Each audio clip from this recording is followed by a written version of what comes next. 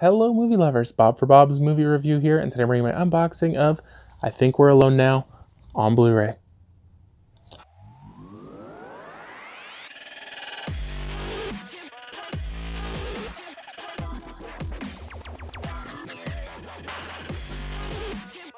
Be sure to click subscribe and click on the bell icon to be notified whenever I upload great new content. If you do enjoy the video, be sure to show it some love and give it a like rating. So this one includes Blu-ray, Peter Dinklage, Ellie Fanning. I think we're alone now. In the end, chaos will find you.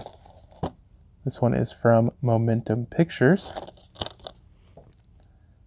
Del is alone in the world. After the human race is wiped out, he lives in a small empty town, content with his solitude and the utopia he's methodically created for himself until he is discovered by Grace, an interloper whose history and motives are obscure. Worse yet, she wants to stay.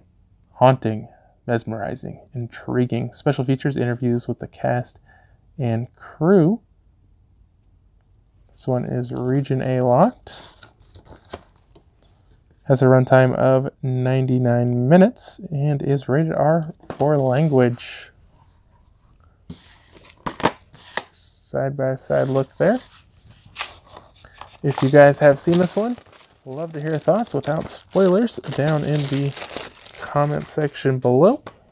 Let's check out the inside.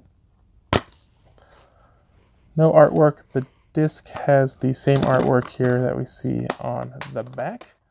I want to thank you guys so much for watching. I hope you did enjoy the video. If you did, please remember to give it a like rating where you can find more information, including affiliate links to purchase I Think We're Alone Now down the description below. If you haven't already, subscribe for more videos. Check out the suggested videos. Check out my website, bobsmoviereview.com. And I'll see you guys next time.